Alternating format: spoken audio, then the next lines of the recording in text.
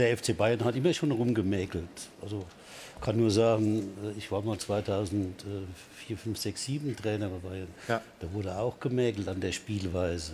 War ja nur zweimal Meister und Pokalsieger, aber das war halt auch nicht gut genug. Also insofern, das hat sich dann halt nicht geändert, sondern das ist so und äh, das hat man ja auch immer gesagt. Der FC Bayern will ja auch besser sein als der Rest der Liga und von daher muss er sich eben auch daran messen lassen. Und insofern verstehe ich auch die Kritik an Kritikern. Also der FC Bayern spielt halt nicht berauschend. Das ist so. Und er spielt jetzt schon seit über einem Jahr. Ne? Mehr oder weniger, ja, äh, zweckdienlich. Ja, aber mehr auch nicht.